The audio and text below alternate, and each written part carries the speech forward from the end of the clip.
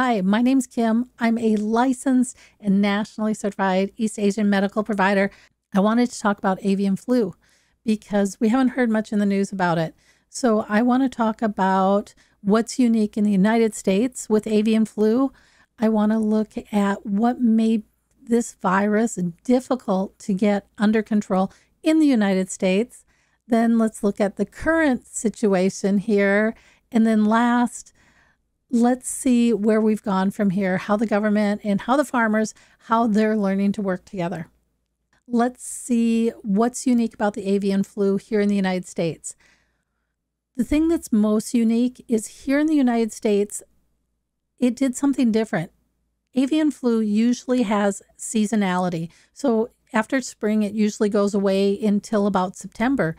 Here in the United States, it stayed around in poultry until either um, early June, July. So we had it here much longer than than usual. And the other thing that was really unique is it jumped into cattle. Nowhere else has avian flu jumped into cattle. It's just here in the United States. So those are two things that make avian flu really unique and I'll put a link to the World Health Organization, their latest situation update, which shows that the seasonality of this is changing. And it's becoming more like you notice the flu after COVID. It we were we're getting sick all the time. It used to be this period in the summer where everything was gone, everything was easy, and now we're just sick 24 7. And this avian flu, when it mutated in 2021 in Israel, it started showing some of those same characteristics that we see in COVID. And if you want more information on that initial jump into birds, this new mutation, I have an episode out here. I'll put a link up here so that you can click on it, or it'll be in the video description below but it'll talk about the initial outbreak and what was going on at that time. What are some of the difficulties with getting this virus under control? Well, there might be a number of reasons why we're having a hard time getting this outbreak in cattle contained. And probably the most important is that we don't know how this jumped into cattle. So, lacking that knowledge this virus could be spreading to new herds right now, right underneath our nose, and we wouldn't know. There's another aspect that could have led to the difficulty in containing this outbreak, and that was the initial pushback from industry against government regulation.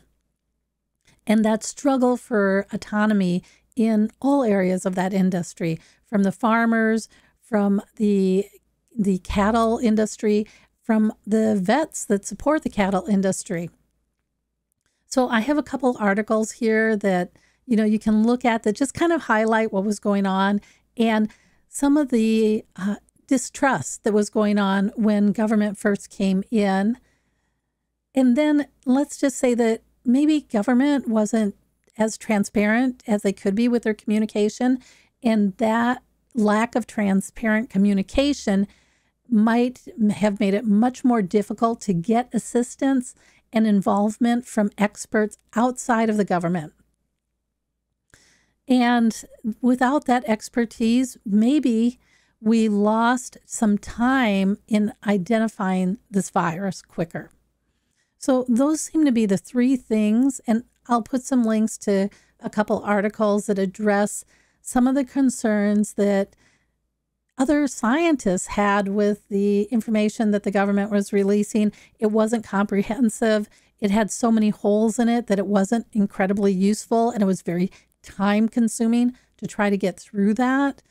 And just some of the some of the other concerns that they might have had. So those are the three things that might have made this virus much more difficult to contain. What's the current situation right now? Well, if you're curious what the current situation is, there's a CDC report which shows you how many herds have been inf- infected, and we're up to 191. it's the uh, number seems to be going down. We're active in just a couple states right now.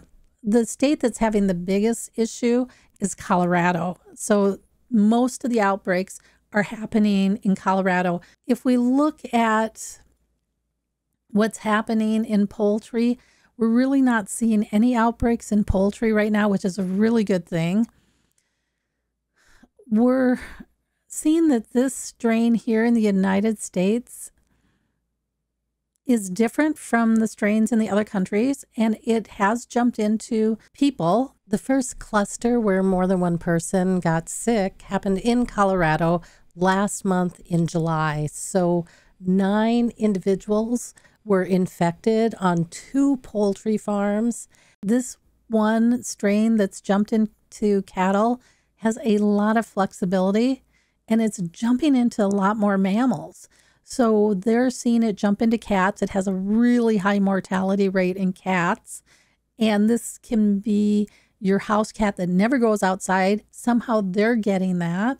Or cats that are around sick cattle. But the other thing that I found really interesting and concerning for me is that it's jumped into mice and rodents. And if you remember, the Black Plague was spread by rats fleas on rats. So who knows?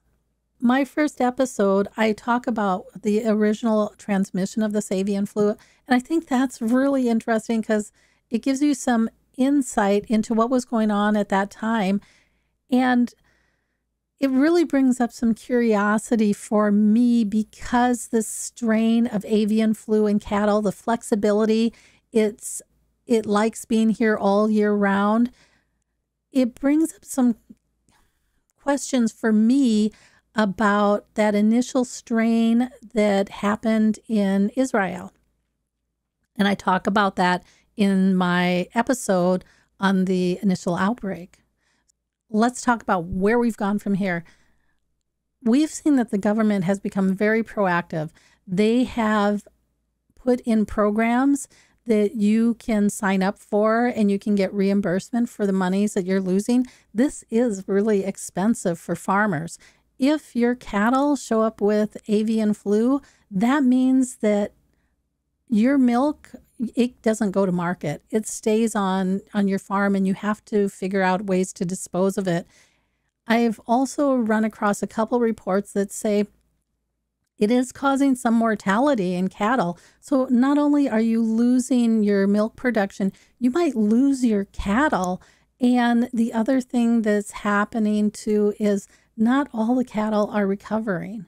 So this is a very expensive infection for farmers to have. You know, when it first started out, I think they thought the cattle would recover and this thing would go away and that would be fine. So let's not get too much government intervention because, you know, they they can be kind of like relatives where you invite them over and they never leave. So there was a lot of concern with, you know, how is this going? How's this interaction going to happen? And I thought it was really interesting to watch how the government handled this. They didn't push themselves on the farmer they said, "Hey, we're here if we, if you need our help." And one of the things that happened is Colorado is where we have the most outbreaks, and they're having a really hard time getting rid of it in Colorado. And it's bringing down, I think, like 50% of their farms right now. So there's a lot of concern now, now that we can see that this can be really dangerous for farmers there's a lot more concern from the farmers on how do we keep this contained and working together. And I think one of the things that the government did really, really well is they didn't change their stance. They said, We're here to help. Here, here's some programs we have. We can come and we can help you figure out how to sanitize your farm working with you, we can maybe figure out more ways to help you keep biosafety on your farm and with your workers. And that seems to be working really well. What I'm seeing right now is there is a lot more cooperation between industry and with government because this this is a concern. What's happening in Colorado, we don't want that to spread and happen in other states. And I think that's kind of where the farmers are. That's kind of where government is. And I think they're trying to figure out how to work together and keep their antagonism at bay. One of the things that I can say is it does seem to be working. I can tell you when this was found in March, I really had to wonder about that avian flu inactivated virus in dairy because we inject ourselves with an inactivated virus to produce an immune response through vaccines. My thoughts is that even consuming an inactivated virus could be a problem. And what was bothering me in clinic was there were some of my people that would get this horrible gastritis. They thought they had food poisoning. It'd last for a few days and then it'd be fine. One of my clients had swelling on one side of their face and they had rash around their stomach. It would bring up these weird digestive symptoms. And after a while, I started to think that maybe that inactivated virus wasn't as benign as we'd like to think it was. But who knows? You know, we, we really haven't done any testing on that.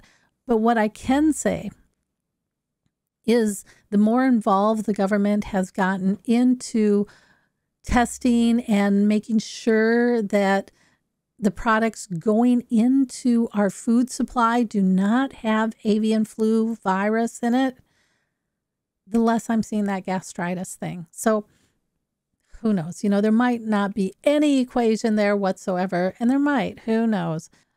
So that's kind of where we're at with avian flu. Now, if you want to get more information on some of the holistic or bioorganic methods that we're doing in clinic to help keep ourselves safe, then check out Health Hub. There's going to be a link up here, and you're going to see there's a link at the end of this video. In Health Hub, what we do is we talk about some of the things that we're doing to protect ourselves or to deal with some of the health issues that we're facing today. There's also a monthly real in person meeting on Zoom where we talk about some of the health issues that we're facing and what we can do about it. And there's email alerts, which I send out that tells you about some of the things that may be a caution that you might want to think about when you're protecting your health and your family's health. And then there's just the basic emails, which tells you some of the new things that you can find on the online virtual training for Health Hub. Okay, until next time, I'll catch you on the other side.